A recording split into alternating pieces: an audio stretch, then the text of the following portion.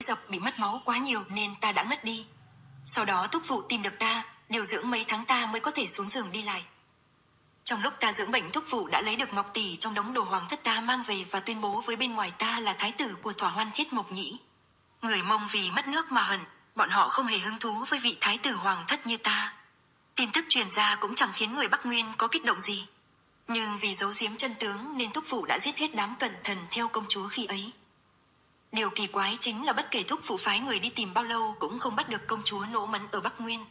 Vì người bên cạnh nàng ta đã được thúc phụ thanh trừ sạch sẽ nên chúng ta không hiểu một tiểu nha đầu 15 đến 16 tuổi như nàng ta có thể sống sót thế nào trên thảo nguyên. Thúc phụ tìm mấy tháng không có tin tức thì cũng dần buông ra. Qua nửa năm vì ý chí và tinh thần của ta xa sút nên rất ít khi xuất đầu lộ diện. Nghĩ đến tình trạng của bản thân mình nên ta chỉ hận không thể lập tức chết đi. Cùng lúc đó thủ lĩnh các bộ lạc còn lại dần biểu hiện ý thần phục với vị thái tử là ta. Nhưng ta vẫn hứng thú dã rời, không muốn làm gì. Trong lúc cực kỳ tuyệt vọng ta bỗng nhiên nhớ tới trên đường hộ tống công chúa từng vô ý nhìn thấy nàng ta lật một cuốn sách. Hình vẽ trên cuốn sách đó cực kỳ đơn giản, liếc mắt một cái là đã nhìn ra đó là một mảnh bản đồ. Ta từng nghĩ ngờ đó là bản đồ dẫn đến bảo khố của hoàng thất. Khi thái tử và thái phi chưa chết thì dù ta có tâm nhìn trộm cũng không dám ra tay. Thật vất vả ta mới lấy được cuốn sách đó từ trong bọc hành lý của công chúa sau đó vội vàng nghiên cứu. Ta chưa kịp kiểm tra những nội dung khác trong trang sách đó thì thị nữ bên người công chúa đã bừng tỉnh. Vì không muốn bọn họ phát hiện sự việc nên ta vội trả cuốn sách kia lại. Nhớ tới việc này ta lại lấy cuốn sách đó từ trong đống hành lý ra xem. Ta chỉ thấy trong sách vẽ ngọn núi thác thác mộc nhi thế là ta mang theo cuốn sách đến Hàn Hà, ngày đêm quan sát. Mấy tháng sau rốt cuộc ta cũng phát hiện ra huyền cơ trong sách, dưới sự hỗ trợ của thúc phụ ta đã có thể tìm được cơ quan ở bờ sông mà khởi động lăng mộ của thành cát tư hãn. Mộ của đại hãn được giấu ở chỗ thần bí, trăm năm nay chỉ có truyền nhân của ông ta mới có thể biết. Để ngừa vạn nhất, lúc tu bổ lăng tầm thái tử khi ấy đã thiết kế một tế đàn dành cho thản nhi châu ở phía trên. Vì ngày đêm ta đi theo đám người Thái Phi nên sớm đã nghe đồn về Thản Nhi Châu. Ta biết vật ấy có thể hoán đổi linh hồn, chẳng những có thể khởi tử hồi sinh mà càng có thể khôi phục những phần thân thể bị tổn hại. Thấy cuối cùng cũng tìm được tế đàn Thản Nhi Châu nên ta chợt sinh ra một ý niệm. Thản Nhi Châu được người trong hoàng thất coi là dị bảo, đời đời kế thừa. Lời đồn đại khởi từ hồi sinh tuyệt đối không phải lời vô căn cứ. Nếu có được Thản Nhi Châu mà giáo chủ chấn ma giáo đã đoạt đi thì có phải ta sẽ có thể đổi linh hồn này với một thân thể nam tử khỏe mạnh hay không? Từ đây về sau ta muốn làm gì thì làm, muốn sinh bao nhiêu con thì sinh bấy nhiêu con, chứ không phải bộ dáng không người không quỷ thế này nữa. Thân ta lúc ấy như ở A Tỳ địa ngục, không còn tình trạng nào tệ hơn được nữa nên ta ôm ý niệm đánh cuộc một phen và bắt đầu mưu toan chuyện này. Lúc đó vì mấy bộ lạc phân tranh không thôi nên Bắc Nguyên càng thêm suy bại, không ít người mông hoài niệm cục diện ổn định, quyền lực tập trung năm xưa. Vì thế bọn họ bắt đầu nhìn thẳng vào kẻ có thân phận, hậu duệ dòng chính của đại hãn là ta. Thế là ta từ từ nắm được mon ngọt của quyền lực. Ta biết rõ nếu dựa trên cơ sở này sau đó đoạt được Thản Nhi Châu và đổi được một thân thể hoàn mỹ khác thì ta sẽ nhanh chóng được người người tín ngưỡng như đại hãn năm đó. Thậm chí ta có thể lấy danh nghĩa ông ấy mà chậm rãi thống nhất các bộ lạc, rồi trung quy sẽ có một ngày ta dẫn dắt quân Mông Cổ đánh vào Trung Nguyên, đoạt lại Giang Sơn. Rốt cuộc ta không thể ngồi yên được nữa, để tiến thêm một bước chứng thực huyết thống dòng chính của mình, ta và thúc phù hợp lực nhĩ cách giả tạo một bức họa của thành cát tư hãn và để vào trong miếu thờ. Nửa tháng sau ta chọn một đám người võ nghệ cao cường và xuất phát đi Trung Nguyên, tiến đến Di Cương. Ai ngờ thúc phụ sợ ta sinh lòng khác, ngày sau không nghe theo ông ta sai sử nữa nên mới lấy cớ người trong chấn ma giáo võ nghệ cao cường mà lừa gạt ta tập ngũ độc thuật nhằm nhanh chóng tăng công lực. Ta không biết môn công phu này luyện đến cuối cùng sẽ phải dựa vào hút máu người để qua ngày mà chỉ muốn trong thời gian ngắn có thể đoạt lại thản nhi châu thế nên từ ngày xuất phát ta đã bắt đầu luyện tập nó. Sau khi tới Trung Nguyên ta dẫn thuộc hạ tới Thục Trung. Vì ta không chịu hút máu của xà trùng chuột kiến nên trong đám thuộc hạ có kẻ trộm trẻ con của bá tánh địa phương tới cho ta hút máu. Việc này khiến Lâm Chi Thành lúc đó tham gia đại hội võ lâm biết được thế là hắn đuổi theo chúng ta một đường không bỏ. Rốt cuộc hắn cũng đuổi kịp chúng ta ở Thục Sơn và giết hết tùy tùng của ta. Trong lúc hỗn chiến vì Lâm Chi Thành không hiểu tiếng Mông Cổ nên khi nghe thuộc hạ gọi ta là Thái tử tức bố nhà đặc hắn lại cho rằng đó là một cái tên người Mông bình thường tức là bố Nhật Cổ Đức. Cũng từ đây mà mọi người đều hiểu lầm trong 20 năm khiến ta cũng có thể dựa vào đó che giấu thân phận. Đúng lúc ấy tả hộ pháp của Trấn Ma Giáo muốn tìm Lâm Chi Thành gây phiền toái, trong lúc vô ý nàng ta lại thấy kẻ kia giết người. Nàng ta vốn đối địch với võ lâm chính đạo nên cũng thuận tay cứu ta đưa về chấn Ma Giáo. Sau khi ta tỉnh dậy thấy mình không hiểu sao đã tới chấn ma giáo thì dù hoảng sợ vẫn cố bình tĩnh. Cũng coi như trời xanh giúp ta vì thế ta giả vờ làm người Hán, che giấu nội lực của ngũ độc thuật rồi thận trọng từng bước mà sống qua ngày ở chấn ma giáo. Qua một năm ta dần được mọi người trong chấn ma giáo chấp nhận, lại vì tính tình trầm ổn, hiểu rõ lòng người nên tà hộ pháp càng ngày càng nể trọng ta. Sau khi ta đứng vững gót chân ở chấn ma giáo thì bắt đầu ngày đêm chủ tính làm thế nào để trộm thần nhi châu. Nhưng giáo chủ luôn được bảo vệ chặt chẽ, ta căn bản không thể xuống tay được. Nhớ tới những người trong võ lâm mà ta gặp đường trên đường này ta lập tức nảy ra ý định mượn tay kẻ khác cướp lấy thản nhi châu. Mà kẻ đầu tiên ta nghĩ tới chính là kẻ đã giết hại chết ta lúc trước lâm chi thành. Vì lúc ấy ta đã có thể tự do đi lại khắp nơi, trong tay cũng có tiền bạc nên ta âm thầm liên hệ với tộc nhân, lệnh cho bọn họ tức tốc đuổi tới Trung Nguyên tiếp ứng với ta. Cùng lúc đó ta nhớ đến việc nỗ mẫn hải ta năm đó nên lập tức vẽ lại bộ dáng nàng kia rồi để một thuộc hạ giả làm quý tộc Bắc Nguyên lưu lạc tới Trung Nguyên. Hắn bịa đặt về thuốc dẫn, về bảo khố của Bắc Nguyên và những lời đồn đại khởi từ hồi sinh. Tin tức dần lan ra ở Trấn Ma Giáo và khắp giang hồ Trung Nguyên. Lúc ấy giáo chủ Trấn Ma Giáo bị trọng thương trong một lần luận võ nên ngày càng suy nhược. Nghe được tin này lão mừng húm vì cuối cùng cũng hiểu được tác dụng của thản nhi châu thế là lập tức hạ lệnh để hữu hộ pháp dẫn dắt rất nhiều giáo chúng tìm nữ tử trong tranh. Ta vốn chỉ ôm hy vọng thử một lần, không nghĩ tới vài tháng sau hiếu hộ pháp thật sự tìm được nỗ mẫn và mang về. Ta thật sự ở nỗ mẫn không chết ở Bắc Nguyên mà đào vong được tới Trung Nguyên. Nhưng không biết tại sao nàng ta lại như bị bệnh nặng một hồi mà đánh mất ký ức. Lúc nhìn thấy ta nàng ta giống như mờ mịt, căn bản không nhận ra ta. Ta thấy tình cảnh này thì như được gãi đúng chỗ ngứa, một mực chắc chắn nàng ta là thuốc dẫn và muốn đẩy nàng ta vào chỗ chết. Phó Lan Nha không biết năm đó mẹ mình chịu nhiều khổ như thế, nghe đến đây hai mắt nàng đẫm lệ, phải cắn chặt răng mới không khóc giống lên. Sau đó chấn ma giáo bị giang hồ nhân sĩ công phá, trong lúc hỗn chiến thuộc hạ của ta không đổi tới kịp nên thần nhi châu bị chia làm năm khối. Còn bản thân ta cũng vì cướp đoạt nó mà không cẩn thận bị nỗ mẫn ám toán lần nữa. Ta bất hạnh ngã xuống vực, nhờ có mấy tên thuộc hạ chờ dưới đó giúp nên ta mới không tan xương nát thịt. Lúc nỗ mẫn đẩy ta xuống vực ta nghe nàng ta cắn răng mắng một câu bằng tiếng mông cổ, giọng nói rõ ràng, không hề có chút hồ đồ thì ta mới biết nàng kia đã nhớ ra việc năm đó từ lúc nào. Phó là Nha nghe được đến đây thì ngực trống rỗng, bước nhanh ra khỏi chỗ tối và lạnh giọng xen vào, chuyện sau đó ngươi không cần nhiều lời vì chúng ta đã sớm biết được. Ta chỉ hỏi ngươi sau đó ngươi vô tình gặp được ta ở Lưu Bôi Huyền, nhận ra ta là nữ nhi của nộ mẫn nên ngươi đã tìm cách ám hại mẫu thân ta không? Mắt nàng đỏ bừng, mỗi một lời đều như nghẹn lại, chứa đầy hận ý, Bình Dục nghe thấy thế thì cực kỳ khổ sở, trong lòng hắn biết Phó Lan Nha đã bị thống tới cực điểm, nhưng hắn không dám lơ là vương lệnh nên chỉ có thể chằm chằm nhìn lão chứ không nhìn nàng. Vương lệnh không nghĩ tới Phó Lan Nha lại trốn ở đây nên sau khi kinh ngạc một lát lão lại nhìn chằm chằm nàng. Lão chỉ hận mình bị phí công lực, chẳng thể nào một trường đập chết nàng. Thật lâu sau lão mới cười cười mà xì một tiếng, từ từ nói, đương nhiên là ta có nghĩ cách hại nàng ta. Vì đứa con gái đó mà ta chịu nhiều khổ như thế, chẳng những thành phế nhân mà còn vài lần suýt mất mạng. Còn nàng ta thì sao? Dù chưa khôi phục thân phận công chúa nhưng nàng ta lại được nhờ phó băng mà làm một vị phu nhân phong quang vô hạn. Phu thê bọn họ hòa thuận, nhi nữ song toàn, muốn vừa lòng đẹp ý bao nhiêu thì được bấy nhiêu. Ta biết được tình trạng của nỗ mẫn thì hận đến nổi điên, cảm thấy nếu chỉ giết nàng ta không thì chưa đủ để ta giải hận. Tốt nhất ta phải khiến nàng ta cửa nát nhà tan, để trượng phu và nhi tử của nàng ta bị biếm chức quan, để nữ nhi của nàng ta bị vô số kẻ mơ ước. Ta muốn con cháu nàng ta đời đời không được yên vì lời đồn về thuốc dẫn. Người câm mồm, Bình Dục biết Phó Lan Nha vốn cực kỳ áy náy với cái chết của mẹ mình nên làm sao chịu được lời này. Lực đạo trên tay hắn tăng lên, muốn kết thúc tính mạng vương lệnh. Ai ngờ vương lệnh lại nói, đáng tiếc, không chờ ta xuống tay thì trong một đêm nỗ mẫn đã bệnh nguy kịch rồi chỉ trong vòng mấy ngày không được cứu chữa mà chết.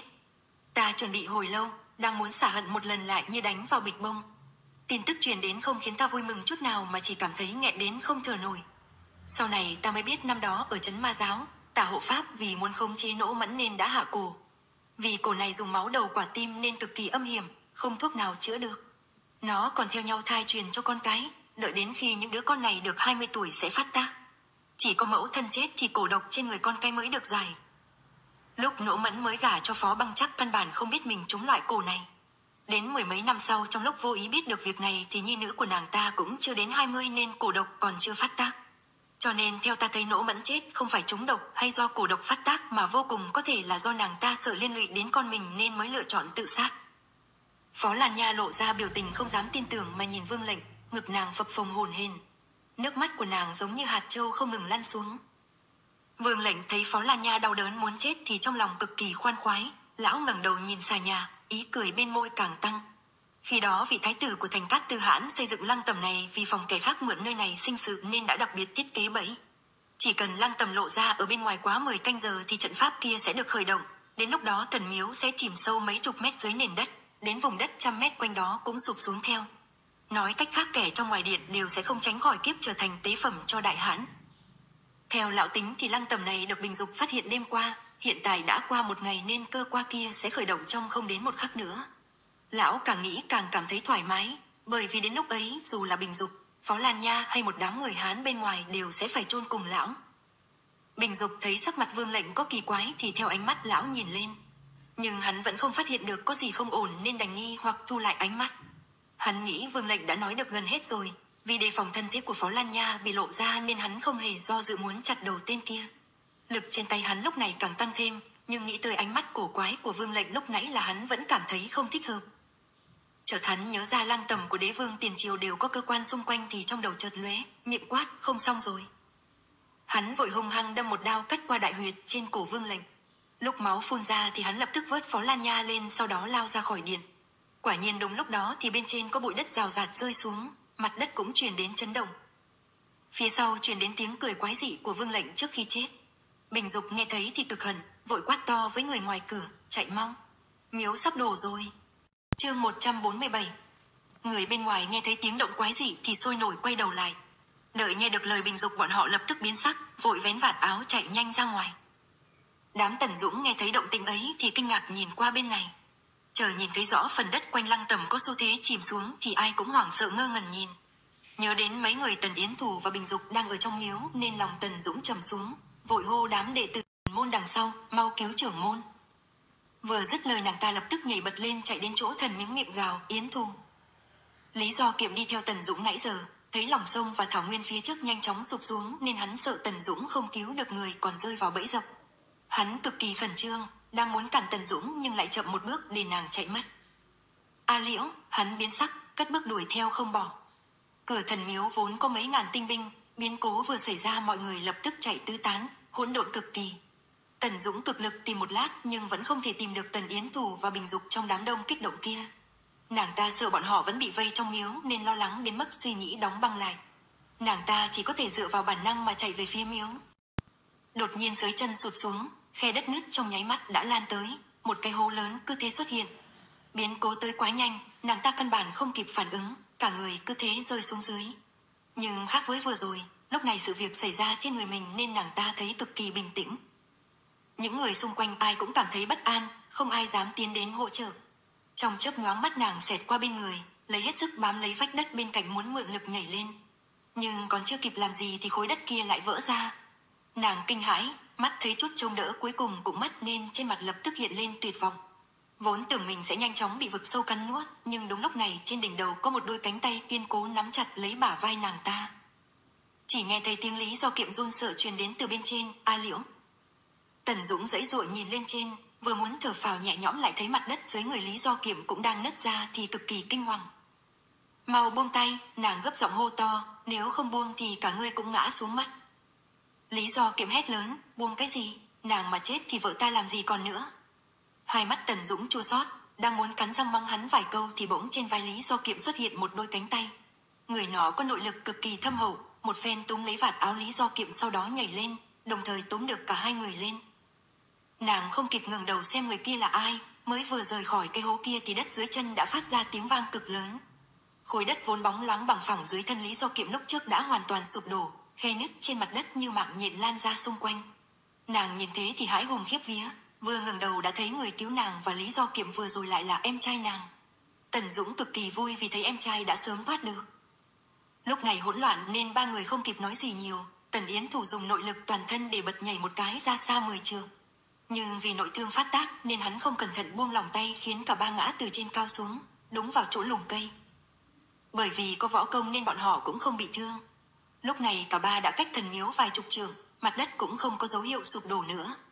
Tần Dũng điều hòa hơi thở, đang muốn vỗ vỗ bụi trên người để đứng dậy thì chợt nghe cách đó không xa có tiếng vạt áo bay phất phới.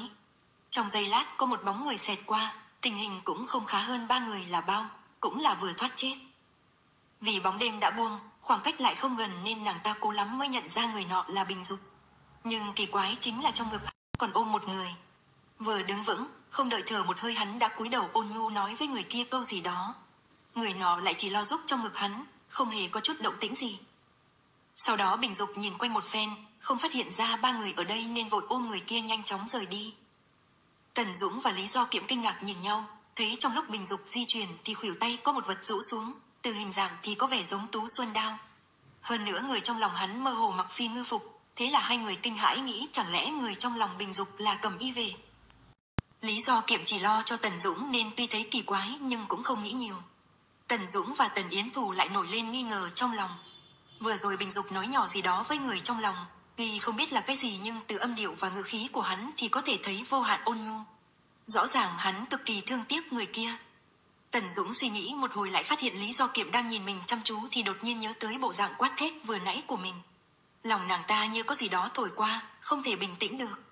Đang xấu hổ nàng ta lại nghe được tiếng đánh nhau kịch liệt ở bên ngoài. Ba người ngẩn ra, vừa ra ngoài bọn họ đã lập tức dùng mình, hai mặt nhìn nhau rồi lặng lẽ tiến về phía trước. Hữu hộ pháp bị ám vệ bình dục phái ra và đám bạch trưởng lão bám lấy gần một ngày, mắt thấy người của chấn ma giáo và đông giao hội tử thương hơn nửa hắn mới đành từ bỏ dự định nhân lúc loạn mà đục nước béo cò. Hắn liều chết mở một đường máu, muốn dẫn theo thân tín đảo tàu. Địch mạnh ta yếu, trong hoàn cảnh này mà muốn được lợi thì chỉ là mơ. Nhưng lấy khinh công của hắn mà muốn thuận lợi đào tàu thì cũng không phải không được. Chạy ngược chạy xuôi một đường cuối cùng hắn mới cắt được truy binh phía sau. Chỉ cần vòng qua đám cây cối phía trước là hắn có thể vòng qua thảo nguyên xung quanh thần miếu, hoàn toàn bỏ lại đám người kia. Mới vừa chạy được vài bước chợt hắn nghe phía xa vang lên tiếng động lớn cực kỳ đột ngột, lại liên miên không dứt, nghe cực kỳ quái dị. Hắn kinh ngạc, động tác rồi ngựa lại vẫn không ngừng. Theo bản băng hắn quay đầu nhìn về chỗ phát ra tiếng động. Chờ thấy rõ cảnh tượng trước mắt hắn lập tức trợn tròn mắt. Lúc này hắn mới phát hiện tòa miếu cổ dưới lòng sông kia đang sụp đổ, mà điều không ổn chính là không chỉ ngôi miếu mà thảo nguyên xung quanh cũng sụp theo. Hắn do dự, trong đầu tức khắc hiện lên khuôn mặt lã trã nước mắt của Đặng Văn Oánh thế là tốc độ của hắn chậm lại. Hắn nhìn một lúc mới quyết đoán nghĩ dù hắn có chạy tới nơi cũng chưa chắc có thể cứu được nàng ta, có khi còn khiến bản thân bị vây khốn. Thế là hắn thúc ngựa hung hăng phóng nhanh về phía trước.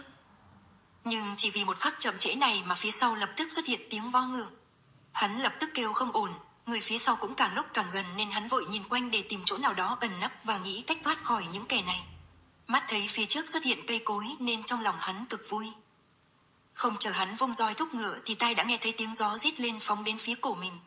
Hắn biết đây là roi dài mà đám thủ hạ của Bình Dục dùng vì thế vội cúi người, né được thứ kia đánh tới. Nhưng ngay sau đó ám vệ khác đã sôi nổi nhảy lên giết tới phía sau. Không có chỗ để trốn nên hắn nhanh chóng lấy trong lòng ra một ống sáo, muốn gọi đám rắn ra. Đúng lúc này trong lùm cây lại có mấy người chui ra, vừa nhìn thấy hắn một người trong số đó đã cười nói, hữu hộ pháp, ngươi cũng thật không có đạo nghĩa, theo chúng ta một đường mà đến một câu chào cũng không nói đã muốn đi hả? Người nói chính là Tần Yến Thù. Tin tức hữu hộ pháp xa lưới truyền đến khi đám tướng sĩ mới vừa lấy lại tinh thần từ biến cố lớn. Vì không kịp rút lui nên có mấy chục binh sĩ và quan viên ngã xuống vực mất mạng. May mà đa số mọi người đều không có vấn đề gì. Hoàng thượng biết được việc này thì thận trọng ra lệnh nhổ trại để đại quân lùi ra ngoài một dặm. Vất vả lắm đám tướng sĩ mới dàn xếp xong, lúc này chân trời đã lộ ra ánh dạng đông. Bình Dục sắp xếp xong việc giam giữ hữu hộ pháp nhưng lại chưa thẩm vấn ngay. Vốn quân tình quan trọng hơn nên hắn định cùng anh mình, Vinh tướng quân và vài vị trọng thần của binh bộ thương lượng biện pháp tấn công thản bố một cách bất ngờ. Trước mắt hắn cũng quan tâm đến Phó Lan Nha nhưng vì kẻ địch quá mạnh nên hắn không thể không kiềm chế xúc động muốn tới thăm nàng. May mà lúc lăng tầm của đại hãn sụp xuống vương lệnh cũng đã chìm xuống theo nên hắn không cần lo lắng thân phận của nàng sẽ bị truyền ra ngoài. Vừa nghĩ vừa đi vào trong chứng hắn thấy anh mình và đám người quảng giã đang lên kế hoạch nên vội thu lại tâm tình và tiến lên nói, Vinh soái Quảng đại nhân, đại ca. Hiện giờ địch ở trong sáng ta ở tối, nếu mọi thứ thuận lợi thì bọn họ chỉ cần vài ngày đã phá được quân của thản bố. Trong lúc đó Diệp chân chân yên lặng nhìn bóng dáng bình dục, mãi đến khi hắn vào trong trướng mới thu lại tầm mắt và đi tới bờ sông. Hôm qua sau bữa tối nàng ta cực kỳ buồn ngủ, không đến giờ tuất đã ngủ mê mệt. Nếu không phải sau nửa đêm thần miếu phát sinh dị động, nàng ta bị tiếng vang kinh thiên động địa kia đánh thức thì có lẽ sẽ ngủ đến hừng đông luôn. May mà lều trại của nàng ta khá xa nên tuy tình huống kia đột ngột cũng chưa liên lụy tới chỗ nàng ta. Dù vậy nghĩ lại việc đêm qua khiến lòng nàng ta chua xót cực kỳ, tâm tình cũng co lại. Ở cẩm y vệ nhậm chức mấy năm nàng ta đương nhiên đoán được cơn buồn ngủ của mình đêm qua có liên quan tới mê dược do bọn họ đặc chế. Mà người có thể hạ lệnh cho nàng ta ăn mê dược ngoài bình dục thì sẽ không có người thứ hai. Nàng ta cũng biết từ lần trước nàng ta có tâm tìm hiểu việc của hắn và Phó Lan Nha đã động vào vảy ngược của hắn. Khoảng thời gian này nàng ta bị hắn đối xử lạnh lùng, đừng nói tới việc có thể tiếp tục làm nhiệm vụ mà ngay cả lại gần nói với hắn vài câu sợ cũng sẽ rất khó. Từ hai năm trước sau khi nàng ta hoàn thành việc huấn luyện và lần đầu tiên đến nha môn của cầm y vệ đưa tin thì đã nảy sinh tâm tư với hắn. Đặc biệt là lúc biết được hắn không gần nữ sắc nhưng chỉ chịu cùng nàng ta giao tiếp thì nàng ta càng vướng sâu hơn. Nàng ta xuất thân nhà nghèo, từ nhỏ không cha không mẹ, cơ thế lớn lên trong cảnh bụi bặm. Sở dĩ nàng ta có được ngày hôm nay đều là nhờ vào sự nhẫn nại và nghị lực. Nàng ta lớn lên không kém, gần như có thể nói là tươi đẹp, tính tình lại trầm mặc nhu thuận, đối với hắn càng trung thành và tận tâm. Chỉ cần nàng ta có thể thường xuyên thấy hắn, chỉ cần bên người hắn không có nữ nhân thì nàng ta bảo đảm có thể khiến hắn rung động. Thế nên dù ngoài công việc bọn họ không nói thêm cái gì, cho dù hắn chưa từng có chút thân mật với nàng ta nhưng Diệp chân chân vẫn không lo lắng gì. Nhưng phần chắc chắc này lại dao động sau khi nàng ta thấy Phó Lan Nha. Từ khi ở Kim Lăng cùng hắn quang minh chính đại hội hợp nàng ta đã bất an, xuyên để ý quan sát hắn và Phó Lan Nha. Dựa vào chức vụ, nàng ta đã nhanh chóng nhìn ra manh mối, quả đúng như nàng ta lo lắng, hắn đã nổi lên tâm tư với nàng kia. ỉ vào quyền lực trong tay mà hắn không ngừng âm thầm chăm sóc nàng kia. Trong một lần duy nhất nàng ta có cơ hội tiếp xúc với hắn, thậm chí còn ngửi được mùi hương của pháo Lan Nha trên người hắn. Sau khi biết được điều này nàng ta đã mất ngủ vài đêm. Nếu Bình Dục nạp pháo Lan Nha vào cửa thì trong mắt liệu có còn nhìn thấy nàng ta nữa hay không? Điều càng khiến nàng ta không cam lòng chính là xuất phát từ trực giác nàng ta tin tưởng sở dĩ đêm qua mình bị hạ mê dược hơn phân nửa cũng liên quan tới Phó Lan Nha. Nghĩ tới đây sắc mặt nàng ta cực kỳ khó coi, trong mắt dâng lên ác ý nồng đậm. Trong lúc bất giác nàng ta đã vòng ra sau quân doanh, đi tới bờ sông. Nàng ta dừng bước, nhìn mặt sông, chỉ thấy phần hạ du bị ngôi miếu kia chắn đã thông, nước sông vẫn theo đó chảy về phía đông. Quá sức thần nên thậm chí nàng ta cũng chưa để ý tới hư hách và Trần Nhĩ Thăng Giang đi theo mình ở phía xa. Chợt nghe phía sau có người nói, Hoàng thượng. Nàng ta cả kinh, quay đầu nhìn lại quả nhiên thấy một đoàn người từ doanh trướng trung tâm chậm rãi đi ra. Người đi đầu mặc một thân ngân giáp sáng lóa, được người khác vây quanh, nhìn qua cũng có vẻ khí độ bất phàm. Nàng ta nhận ra người nọ là hoàng thượng nên đang do dự có nên lảng tránh đi hay không. Đột nhiên nàng ta thấy có hai bóng người quen thuộc ở phía xa, nhìn kỹ thì thấy đó là Trần Nhị Thăng và Hứa Hách.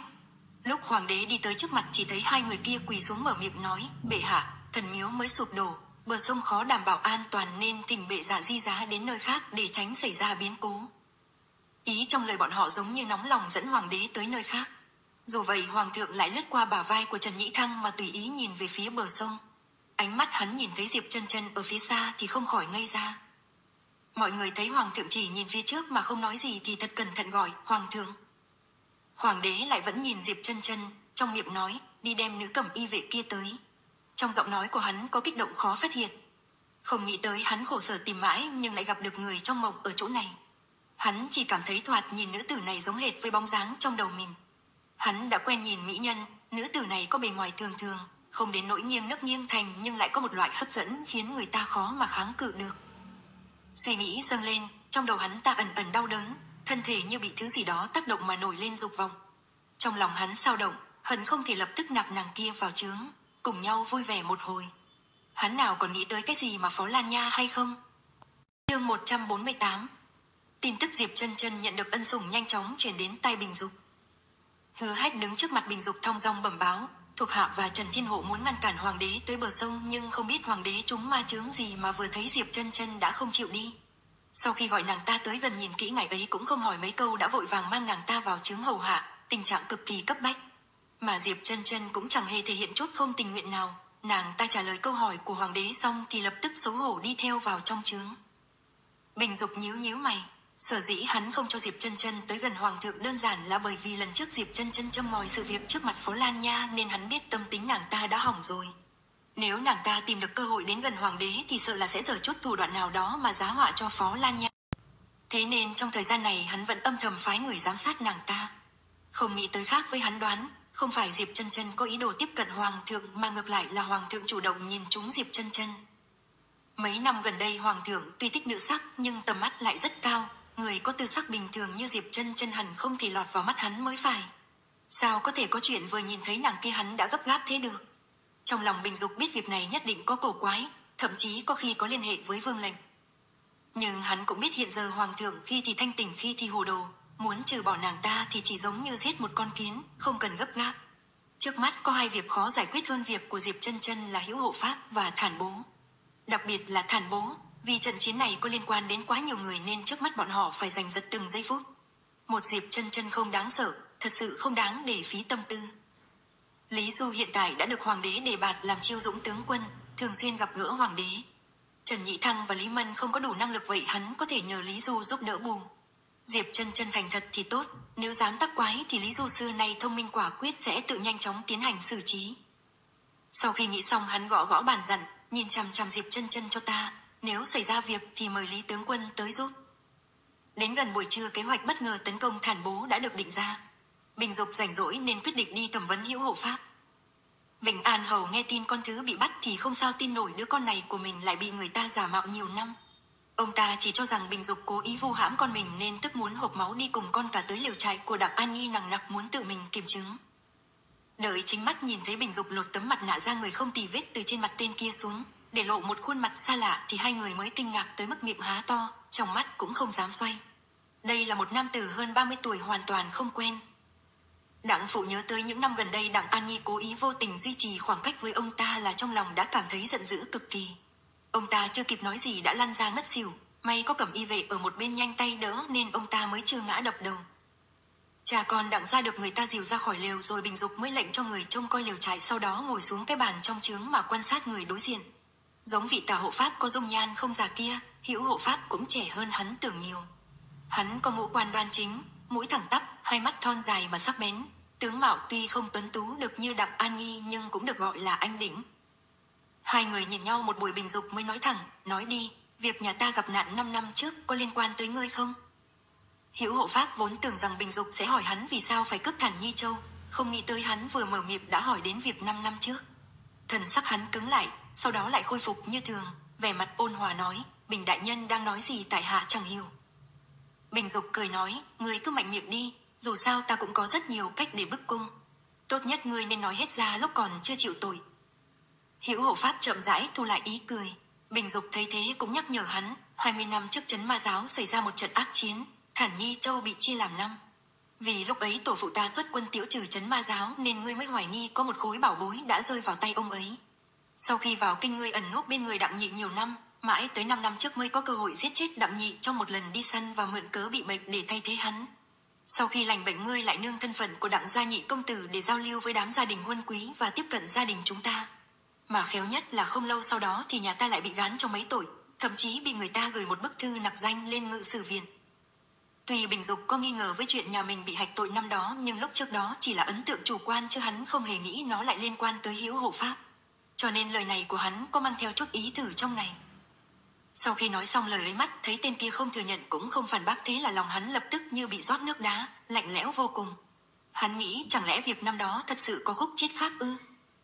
Lúc ấy Phó Băng vừa mới lên làm thủ phủ, đúng lúc đang làm nghiêm mọi mặt nên ông ta làm việc như sấm rền gió cuốn, thậm chí tới nông nỗi uốn cong thành thẳng. Thấy ngự sử buộc tội cha hắn nên người kia lập tức bẩm báo tiên hoàng xin chủ động điều tra một án này. Sau một phen tra xét lại như thật như giả lục được chứng cứ trong thư phòng. Màn đêm buông xuống phó băng lập tức viết sớ buộc tội cha hắn. Lúc đó tiên hoàng đang càn quét đám quan viên tham ô, cả nước trên dưới có không biết bao nhiêu quan viên bị bỏ tù, mất chức vì việc này. Lúc ấy mà bị người tố giác thì không khác gì bị đẩy lên nơi đầu sóng ngọn gió. Tiên hoàng vừa nghe được lời phó băng thì đã nổi trận lôi đình cho xử lý nghiêm khắc. Chỉ trong một tháng bọn họ đã chứng thực đủ loại tội danh của cha hắn và bình gia trên dưới đều bị xét nhà xung quân. Nghĩ đến đây ánh mắt hắn nhìn hữu hộ pháp đã lạnh băng như đao. Trấn ma giáo ở trên giang hồ cũng coi như có mánh khóe thông thiên, muốn lặng lẽ làm ra chứng cứ phạm tội thì cũng không khó. Hữu hộ pháp lại không hề dao động, mặt mang ý cười mà lặp lại câu vừa rồi, lời bình đại nhân vừa nói ta không hiểu gì hết. Buồn cười, vì sao hắn phải thừa nhận chuyện của bình gia năm đó là do bị hắn vu oan, để giúp Bình Dục cởi bỏ khúc mắc với phó ra sao? Để chính mình chết càng khó coi ư? Nên biết hắn đã mưu tính chuyện thản nhi châu nhiều năm nhưng vài lần đều lỡ mất dịp tốt. Này khó khăn lắm mới vơ vét được hai khối. Vốn hắn đang định ngồi xem Bình Dục và Vương Lệch đấu đến lưỡng bại câu thương còn mình sẽ ngư ông đắc lợi. Ai ngờ mọi việc sắp thành lại bài. Vương Lệch đã chết, đến hắn cũng bị Bình Dục bắt. Chuyện tới hiện giờ hắn hận Bình Dục còn không kịp, dựa vào cái gì chịu để Bình Dục được thông khoái. Có vài bí mật hắn không ngại để nó vĩnh viễn chôn trong lòng. Bình Dục thấy hữu hộ pháp như thế thì dù không muốn tin cũng có ít nhiều kết luận trong lòng. Tâm hắn tức khắc loạn như ma, vốn hắn cho rằng đây chỉ là một suy nghĩ kỳ lạ, không nghĩ tới, chuyện này lại thật sự có khả năng.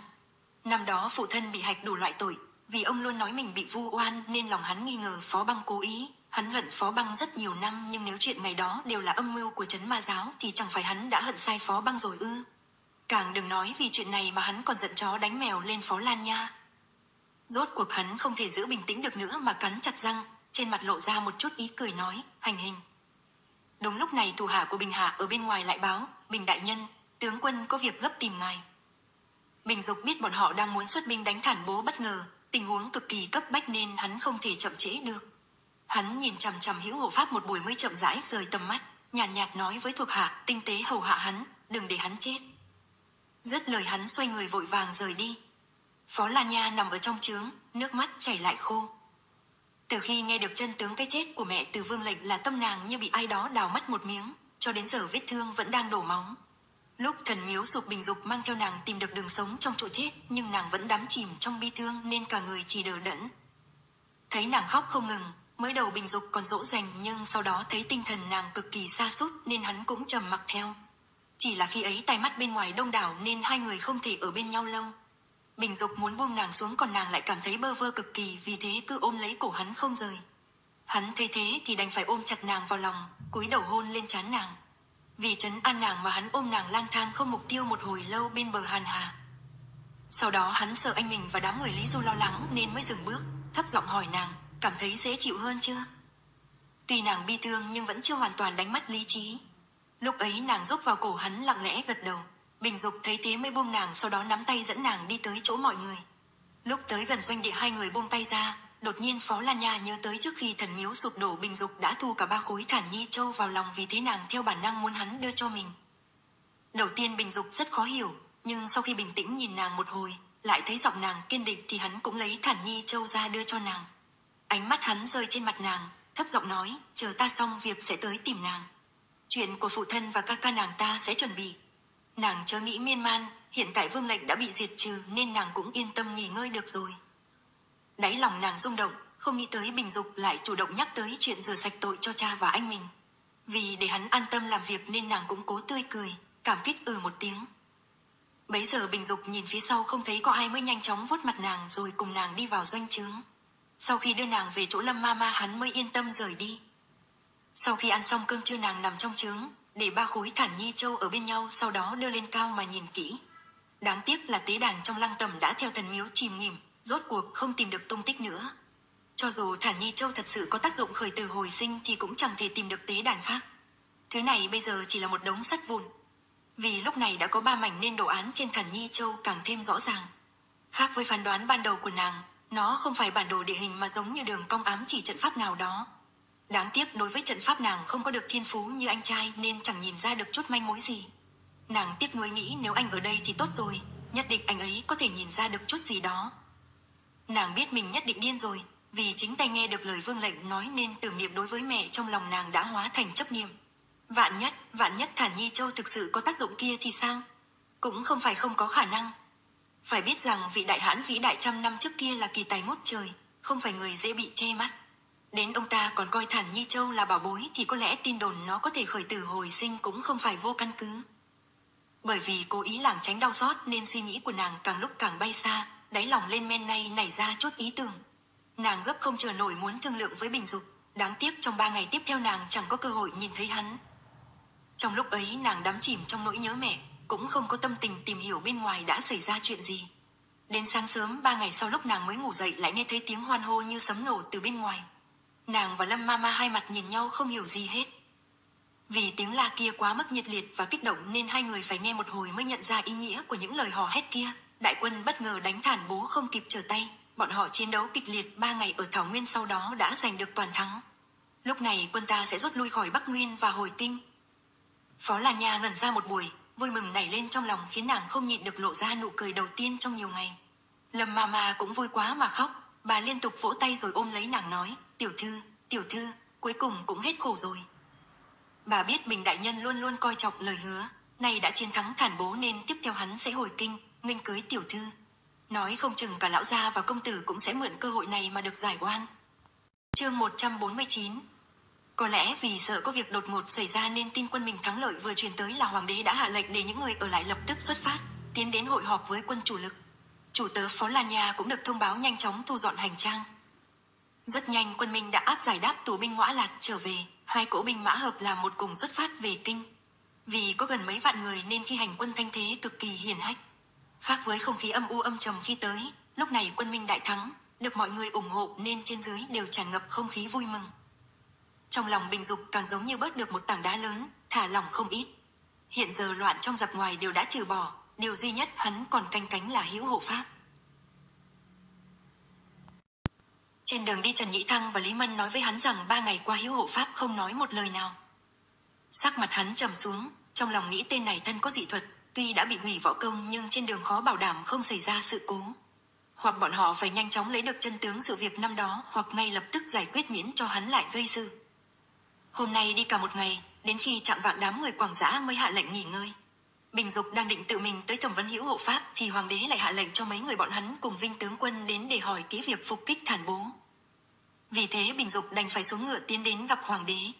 Vào trong trướng hắn thấy hoàng đế đang hứng thú chờ mong nên đành phải thuật lại tình hình chiến đấu ngày ấy. Hoàng đế nghe xong lại càng thêm vui vẻ. Bình Dục cũng nói, tên hữu hộ pháp thần bắt được không dễ đối phó, thần sợ xảy ra việc gì đó nên cần nhanh chóng xử trí.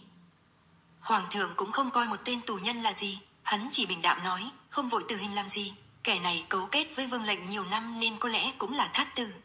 Cứ thẩm vấn thêm vài ngày, không chừng có thể đào ra được chốt quân tình của Bắc Nguyên.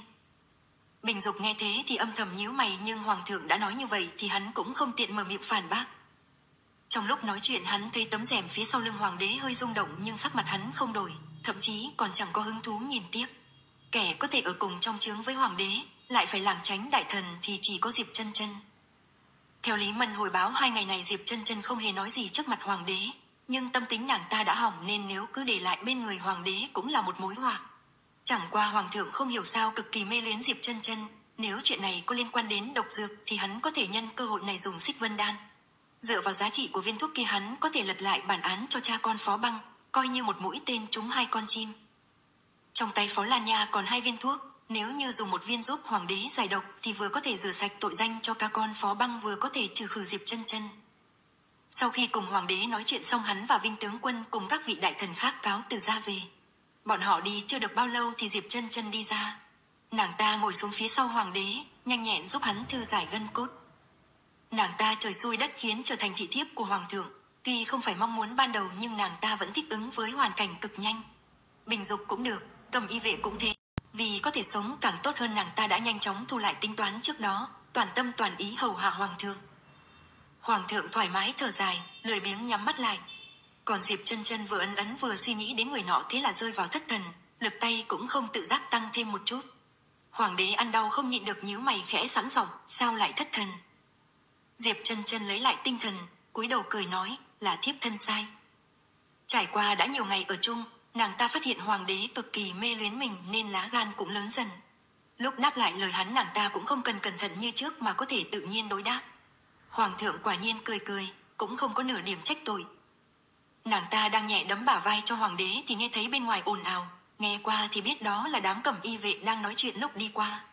Chả là lều trại của cầm y vệ được dựng ở một bên, cách đó một đoạn ngắn, ở chỗ khuất nhất là lều trại của chủ tớ Phó Lan Nha. Trong lòng nàng ta cười lạnh nghĩ bình dục vì giấu Phó Lan Nha nên đã dốc hết sức lực. Trong thời gian ở Bắc Nguyên này hắn bảo vệ nàng ta như con ngươi trong mắt, chưa từng để hoàng đế thấy được nàng kia. Có lẽ khác với suy đoán lúc trước của nàng ta, Bình Dục không chỉ muốn nạp Phó Lan Nha làm thiếp mà chờ trở về kinh có lẽ hắn còn vì yêu ai yêu cả đường đi mà bắt đầu xử lý việc của cha và anh nàng ta. Đến lúc đó Phó Lan Nha có thể lắc mình biến thành vợ cả của hắn cũng nên. Nghĩ đến hai người kia sau này có thể bên nhau ân ái là trong lòng nàng ta lại buồn đến hoảng hốt.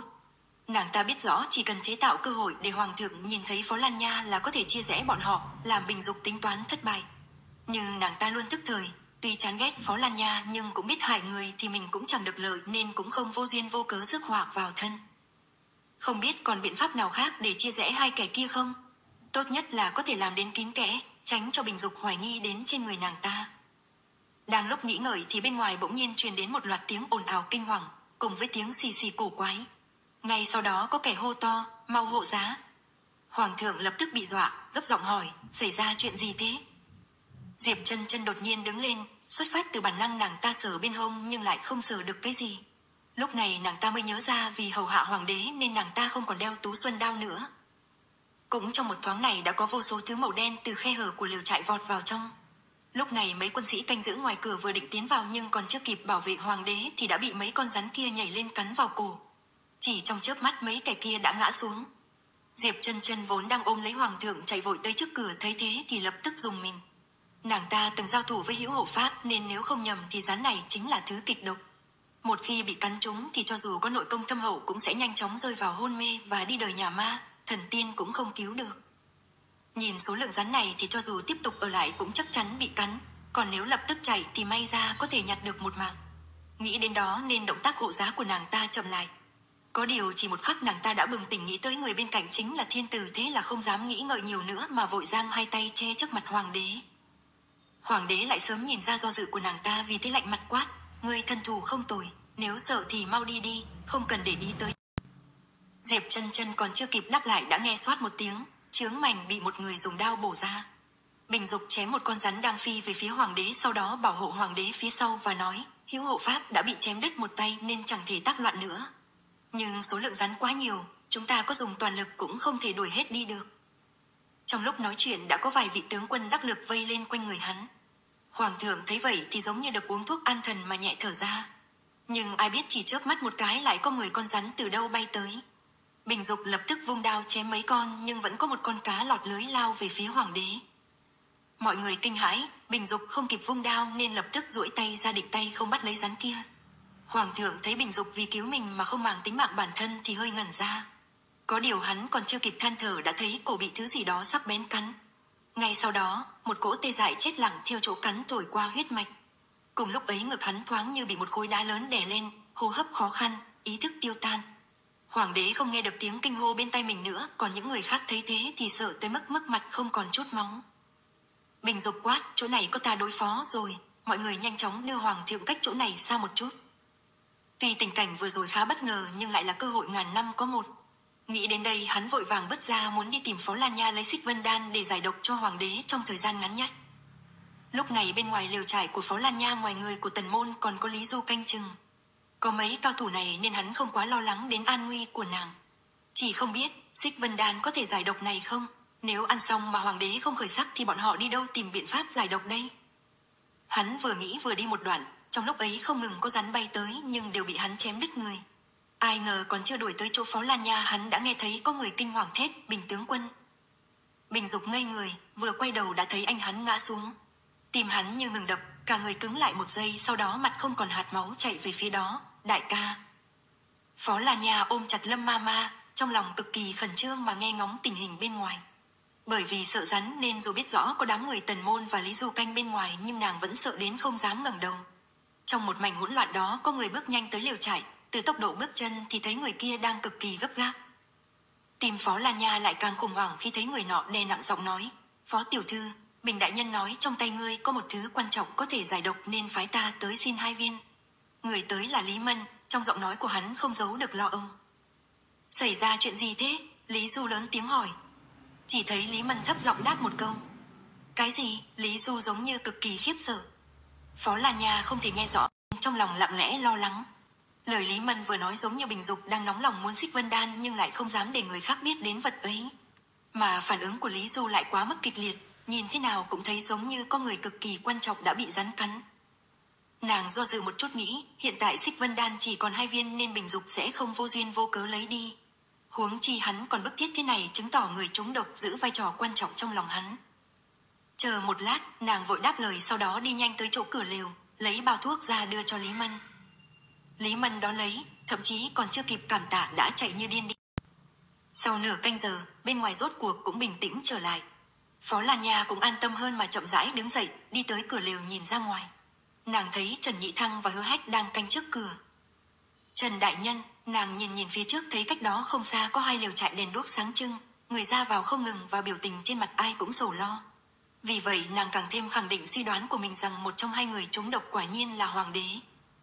Vậy, một người còn lại là ai? Xích Vân Đan đã đưa qua được nửa canh giờ nhưng sao mọi người vẫn lo lắng? Từ tình cảnh này thì khó đoán được Xích Vân Đan có thể khống chế được độc rắn tối nay hay không? Nếu xích vân đan có tác dụng thì tốt, lấy tâm tính của Bình Dục thì chắc hắn sẽ mượn chuyện này để tìm mọi cách giúp cha nàng thoát tội. Nghĩ nghĩ thế nên nàng mở miệng hỏi, lều bên cạnh hoàng thượng là của vị đại thân nào vậy? Chẳng lẽ người đó cũng không cẩn thận bị rắn cắn ư? Trần Nhĩ Thăng trần chờ một lát, không biết có phải ảo giác của nàng không nhưng lúc Phó Lan Nha nhìn hắn thì thấy trên khuôn mặt nghiêm túc của Trần Nhĩ Thăng có một chút yêu sầu. Một lát sau hắn mới mở miệng nói là Bình tướng quân. Phó Lan Nha ngơ ngẩn, Lâm Ma Ma thính tay nghe thấy thế thì hoảng sợ bước nhanh tới thò đầu ra run giọng hỏi, Trần Đại Nhân, ngài vừa rồi nói là thật ư? Thật là Tây Bình Hầu Phủ Thế Tử trúng độc ư? Trần Nhĩ Thăng gật gật đầu, cổ có chút cứng đờ. Phó Lan Nha lại tâm thần không yên mà lùi lại, rốt cuộc không thể bằng quan như lúc nãy nữa. Nàng không nghĩ tới, người còn lại là anh trai của Bình Dục, khó trách vừa rồi anh em Lý Du lại phản ứng cổ quái như thế. An nguy của hoàng đế đương nhiên là quan trọng nhưng có thể khiến người ta thê lương như vậy chỉ có thể là người họ cực kỳ quan tâm. Cũng không biết Bình Dục lúc này thế nào. Hắn và anh mình tình cảm rất tốt, nay anh hắn trúng độc vậy chắc hắn cũng đang rất lo lắng. Đáng tiếc là nàng không thể ở bên cạnh, không sao giúp hắn chia sẻ lo lắng này. Chỉ mong xích vân đan thực sự có thể giải được độc rắn mới tốt. Lâm Mama ở một bên lo âu đi lại, lẩm bẩm nói, đừng xảy ra chuyện gì mới tốt. Đi được một hồi bà lại nhớ ra gì đó nên đột nhiên quay đầu nhìn về phía phố Lan Nha. Bà nghĩ đúng là mình già nên hồ đồ rồi, sao bà lại quên mất bởi vì lão gia nên người nhà họ Bình từ trên xuống dưới đều có thành kiến với tiểu thư. Sau khi vào kênh bọn họ có chấp nhận tiểu thư hay không còn chưa biết đâu. Hiện tại tế tử nhà bọn họ trúng độc cực kỳ hung hiểm, nếu thuốc tiểu thư đưa có thể giúp giải độc thì quan hệ của hai nhà hẳn sẽ có cơ hội cứu vãn. Nghĩ thế nên bà nhất thời lo lắng, nhất thời vui vẻ. Bà đi qua đi lại trong phòng, miệng thi thoảng lẩm bẩm cầu khấn. Có lẽ Lâm Mama cầu nguyện có hiệu quả nên sau nửa đêm có tin Hoàng thượng và Bình Hạ đều đã tỉnh lại. chương 150 Tin tức Hoàng thượng và Bình Hạ được cứu truyền ra khiến đám thần tử đều thở nhẹ một hơi.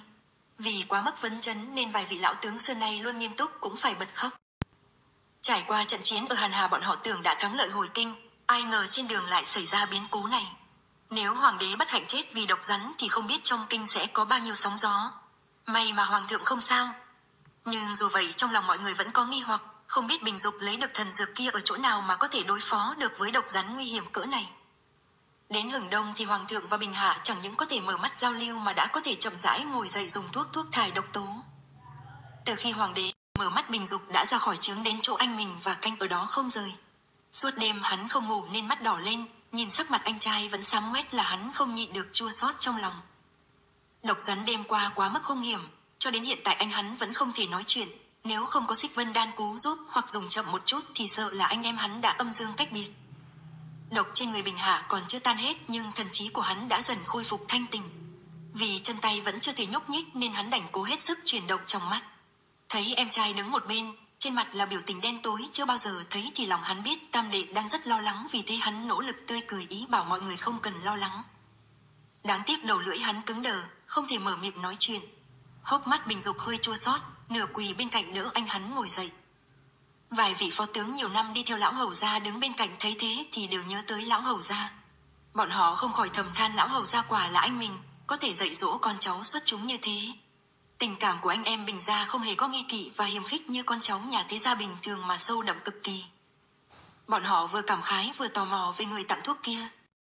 Bình Hạ được em trai đỡ dậy uống một chén cháo nên cảm giác tê mỏi trên người cũng tan bớt nhưng nghi hoặc trong lòng hắn lại tăng lên. Tình cảnh trước khi chúng độc lại hiện rõ trước mặt, hắn biết rõ mình gặp phải kịch độc nhưng không biết thuốc giải ở đâu ra.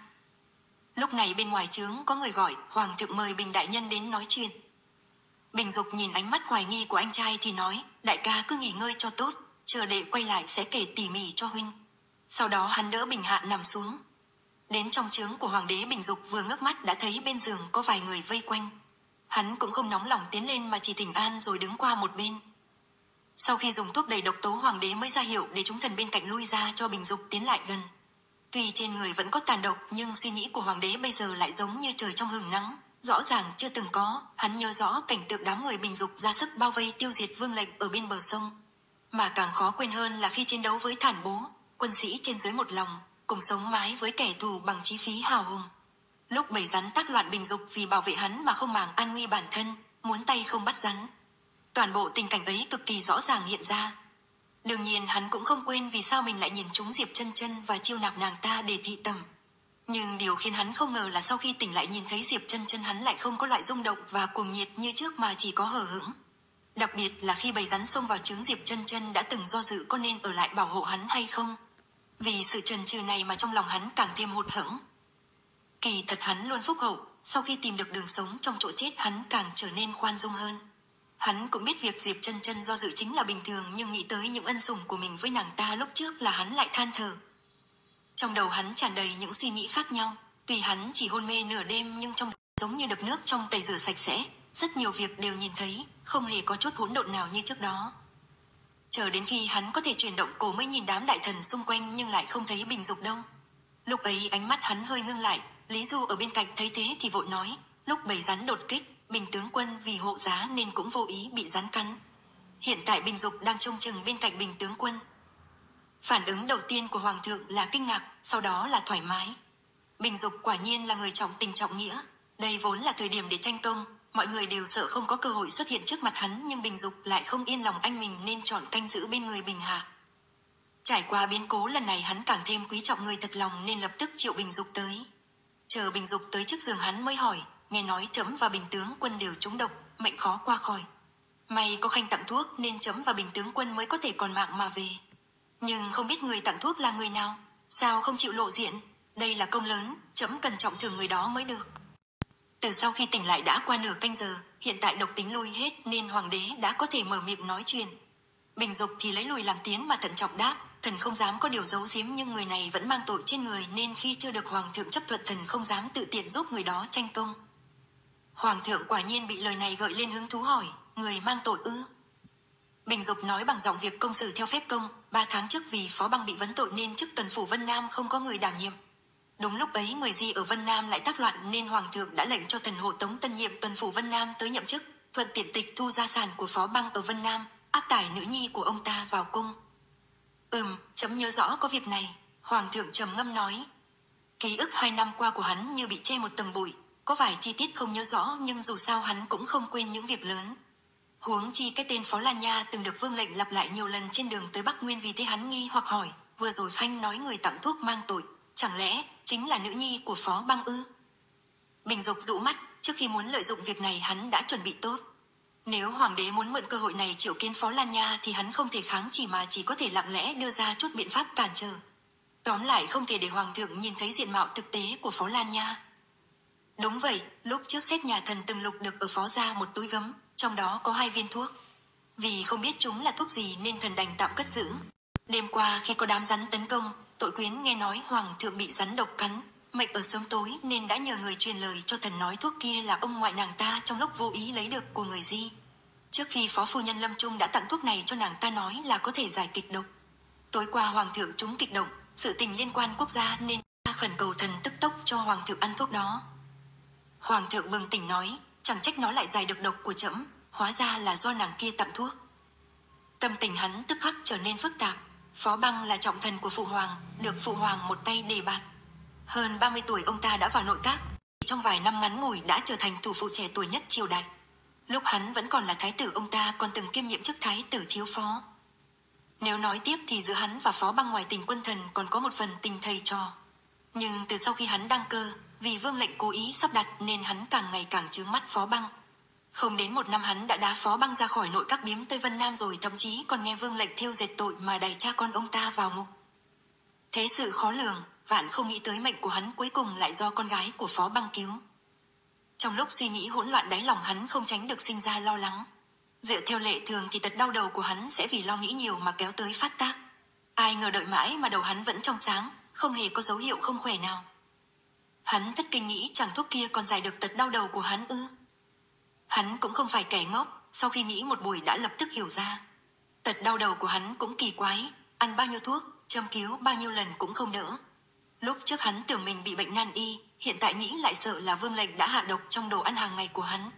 Vừa rồi Bình Dục từng nói thuốc kia có công dụng giải độc rất tốt, vừa khéo đêm qua hắn trúng độc rắn, vốn tưởng không có cách xoay chuyển trời đất, ai ngờ chỉ một viên thuốc giải độc của phó gia đã giúp hắn khởi tử hồi sinh, thậm chí còn chữa được cả tật đau đầu kia. Đúng là trong họa được phúc. Hắn than thở một tiếng, mấy năm nay hắn quả thực quá hồ đồ khi coi một tên thát tử giáp tâm hại người là thân tín và một vị đại thần đắc lực thành gian ninh. Nhớ tới tư thái xuất sắc của phó băng năm ấy là tâm tình hắn không sao bình tĩnh được nữa. Hắn hận không thể lập tức chỉnh đốn triều cương, rửa sạch tội cho những đại thần bị vương lệnh hãm hại. Theo bản năng hắn mở miệng nói, truyền nữ nhi của phó băng vào ít kiến, chấm muốn trọng thương. Lời vừa ra khỏi miệng bỗng hắn thoáng nhìn qua Diệp chân chân ở một bên, lòng bỗng dâng lên ác cảm.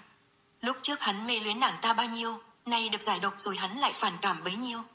Hắn nhớ rõ trong lúc hai người cá nấc thân mật Diệp chân chân từng nói nhỏ bên tay hắn rằng nàng ta và một tội quyến tùy quân có thân hình cực kỳ giống nhau. tùy hắn không biết Diệp chân chân đang cố ý dẫn dụ hắn hay vô tình nói tới nhưng tội quyến tùy quân thì chỉ có một chứ không có hai. Trước mắt hắn không hề nghĩ tới việc gặp người giống Diệp chân chân, cảm giác bài xích nồng đậm tới nỗi hắn chỉ nghĩ thôi đã cảm thấy cực kỳ ghê tởm. Hắn cảm kích con gái của Phó Băng là một chuyện nhưng khiến mình ngột ngạt lại là chuyện khác. Vì thế hắn sửa lại lời và nói, Phó tiểu thư thân hãm trong nhà tù mà còn giữ được đại nghĩa. Điều này có thể thấy Phó Băng rất biết cách dạy con. Án của Phó Băng có nhiều điểm đáng ngờ, sau khi hồi kinh chấm phải thẩm tra lại cẩn thận mới được. Bình Dục không đoán được vì sao Hoàng thượng lại đột nhiên đổi chủ ý, nhưng Hoàng thượng không chịu kiến Phó Lan Nha quả là đúng ý hắn. Đồng thời hắn cũng nhạy bén phát hiện Hoàng thượng khác lúc trước. Tác phong khiêm tốn cẩn thận trước kia dần rõ lên, việc làm và thái độ nói chuyện của Hoàng đế cũng có sự khác biệt. Vì thế hắn càng thêm chắc chắn sở dĩ tính tình Hoàng đế thay đổi trong mấy năm nay, thậm chí sự mê luyến với Diệp chân chân mấy ngày gần đây đều là do vương lệnh tác quái. Nghe Hoàng thượng nói như vậy hắn cũng không nói tiếp, nhưng vinh tướng quân liếc nhìn hắn, lại vuốt râu cười và nói thêm, long thể của Hoàng thượng liên quan tới thiên hạ nguy vọng, phó tiểu thư tuy gian nan nhưng lại dâng đúng thuốc cứu được Hoàng thượng, cũng coi như cứu Giang Sơn Đại Minh ta. Trong tình cảnh này thần mới nhớ tới câu chuyện cứu cha của tiền triều. Thần cả gan xin khuyên một câu, với nghĩa cử của phó tiểu thư, thỉnh mong hoàng thượng không thể không ngợi khen. Vài vị đại thần còn lại tuy có kẻ có thù với phó băng nhưng đều sôi nổi tán thành, không tiện phản đối việc khen thưởng người cứu mạng hoàng thượng. Hoàng thượng trầm ngâm một rồi nói, phụ tử phó băng bị vương lệnh mưu hại, hiện tại còn ở trong ngục. Đợi hồi kinh chấm sẽ lập tức cho người thẩm tra lại vụ án đó, nếu thật sự có gốc chết chấm sẽ nhanh chóng rửa oan cho hai người họ. Phó tiểu thư cứu chấm một mạng, từ giờ này trở đi miễn cho phó tiểu thư mọi tội liên quan, không còn là tội quyến nữa. Chờ án của phó băng có thể kết thúc, chấm sẽ trao tặng nàng ta chức danh huyện chủ để khen tặng Bình Dục thấy mục đích đã đạt thành thì trong lòng như nhắc được một tảng đá lớn, tức khắc trở nên nhẹ nhàng không ít. Dù vậy bên ngoài hắn vẫn duy trì bình tĩnh, còn Lý Du ở một bên nghe thế lại nhướng mày nghĩ, vị phó tiểu thư kia ăn khổ một đường, tuy nói trong lúc đó Bình Dục cũng chăm sóc ít nhiều nhưng tự bản thân nàng ta cũng là một kỳ nữ. Cho đến giờ này khắc này phó gia coi như cũng chờ được mây tan thấy trăng sáng. Hiện giờ vương lệnh đã bị diệt trừ, phó tiểu thư lại khôi phục tự do nên Bình Dục hẳn đang vui đến nở hoa trong lòng. Chuyện hôn sự của hai nhà chắc cũng đang tới gần. Nghĩ đến đây hắn không nhịn được lắc đầu. Thằng nhãi Bình Dục này chỉ tới Vân Nam một chuyến đã vớt được cô vợ đẹp như tiên còn hắn lại vẫn chỉ có một mình. Thế là hắn khoanh tay nhìn đỉnh trướng một lúc lâu không nói gì. Lúc Thánh chỉ truyền tới trong trướng của chủ tớ Phó Lan Nha thì nàng cảm thấy như vừa tỉnh mộng. Nàng cứ thế ôm Lâm Mama cùng nhau khóc giống lên. Nhớ tới này một đường này quá khổ, nàng lại khóc mãi không thôi. Mãi tới khi đôi mắt xinh đẹp sưng thành hạt hồ đào thì nàng mới nín khóc. Giết vương lệnh, lấy lại tự do, cha và anh được lật lại bản án. Từng việc, từng việc, khiến nàng cực kỳ cảm khái. Lâm Mama cũng khóc lu bu, bà ôm Phó Lan Nha khóc dòng nói, lúc lão gia mới bị bắt Mama đã thấy trời như sập xuống. May tiểu thư còn mạnh mẽ không ngã nên chúng ta mới có thể vùng vẫy sống được đến giờ. Tiểu thư của chúng ta thực là ghê gớm. Đợi khóc đến sắp ngất chủ tớ hai người mới dần nín lại. Sau khi rửa mặt và thay quần áo Phó Lan Nha mới chậm rãi nhìn quanh. Gông xiềng trên vai nàng đã được gỡ ra nên nàng thậm chí cảm thấy lều trướng này cũng trở nên rộng rãi hơn nhiều. Này nàng không còn là người mang tội nữa nên khi nghe thấy tiếng reo vui bên ngoài theo bản năng nàng cũng muốn ra xem. Có điều Bình Dục đã dặn nàng trong lúc này không được đi lại lung tung để tránh việc ngoài ý muốn nên nàng đành phải ở lại trong trướng. Tuy vậy có lẽ vì tâm sự đã được giải quyết nên nàng bắt đầu vui vẻ hơn. Nàng theo Lâm Mama thu dọn hành lý, dọn dẹp quần áo chống lạnh sau đó lại vặn ngón tay tính xem còn bao lâu nữa mới hồi kinh, cứ thế díu dít nói chuyện không yên. Lâm Mama nghe Phó Lan Nha cất tiếng như chim hoàng anh, ngữ điệu cực kỳ nhẹ nhàng, biểu tình cực kỳ vui mừng thì cũng không nhịn được vừa cười vừa thở dài lắc đầu. Để tránh nấn ná lâu ở Bắc Nguyên nên sau khi dùng xong đồ ăn sáng đại quân đã xuất phát. Trước khi đi ngoài trướng truyền đến từng tiếng ồn ào náo động. Phó Lan Nha lặng lẽ nhìn ra bên ngoài chỉ thấy chức doanh của Hoàng thượng vây quanh không ít người, giống như xảy ra biến cố gì đó. Nàng khó hiểu nên muốn hỏi Bình Dục nhưng hắn bận rộn cả ngày, bên người lại nhiều tay mắt nên trước sau đều chưa thể đi tìm nàng. Lại qua một ngày, mắt thấy sắp rời khỏi thảo nguyên quanh Hàn Hà, Phó Lan Nha theo bản năng xốc màn xe lên nhìn ra con sông cổ xưa kia. Vì nỗi lòng riêng nên lúc này nàng nhớ đến cảm giác khó chịu không tên của mình lúc vào trong miếu. Có lẽ đó là vì huyết mạch tương liên cũng có thể vì duyên cớ nào khác không thể giải thích, nhưng nàng cũng chẳng muốn nghĩ quá sâu. Chẳng qua vừa thấy Hàn Hà nàng đã không tránh được nhớ tới mẹ. Thân phận công chúa mất nước đã mang lại vô hạn khổ cực cho bà. Cho dù sau này mẹ và cha ân ái, nhưng vì mầm họa ở Di Cương năm xưa nên cuối cùng bà không thể không tự kết liễu cuộc sống. Nếu nghĩ kỹ thì tòa lăng tẩm kia đúng là mầm hòa Lòng nàng đau đớn, đang muốn rời ánh mắt đi lại đột nhiên thấy hai bóng người. Trong đó có một người cao lớn, trên lưng cõng hai tay nải xám xịt, đúng là Lâm Chi Thành. Bên cạnh ông ta là vị Lâm phu nhân kia, cách đó một khoảng có vài tên cầm y vệ đi theo bọn họ. Phó Lan Nha cảm thấy kinh ngạc, không biết trong lúc mọi người đang nghỉ vợ chồng Lâm Thị định làm gì. Nàng thấy vợ chồng họ nắm tay nhau chậm rãi đi tới Thảo Nguyên. Đến một chỗ bỗng họ dừng lại, sau đó Lâm Chi Thành quỳ một gối xuống đất và bắt đầu dùng tay không đào đất. Bởi vì công lực đã dần khôi phục nên ông ta đào rất nhanh, Lâm phu nhân ở một bên giúp đỡ đẩy đất ra. Vợ chồng hai người cùng làm nên nhanh chóng đào được một cái hố sâu. Phó Lan Nha nhìn thấy thế thì mơ hồ đoán được vợ chồng họ định làm gì.